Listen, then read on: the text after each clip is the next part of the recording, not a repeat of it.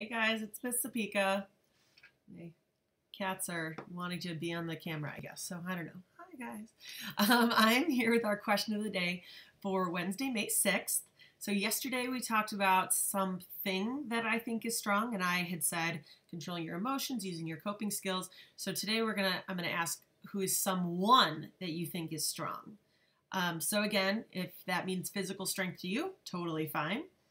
Um, for me, when I thought of this question, someone I think is strong personally is our former President Obama.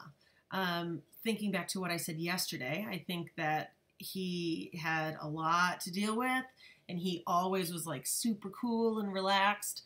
Um, and so he just seemed to be able to control his emotions and control everything going on well. Um, so, regardless of political opinions, because um, that's not what I'm trying to start right now. But regardless of that, I think that he had the personality type that was always calm, cool, and collected, and I think that that's pretty strong. So that's who I, someone I think is strong. Who is someone that you think is strong? Let me know, and I'll see you tomorrow. Bye.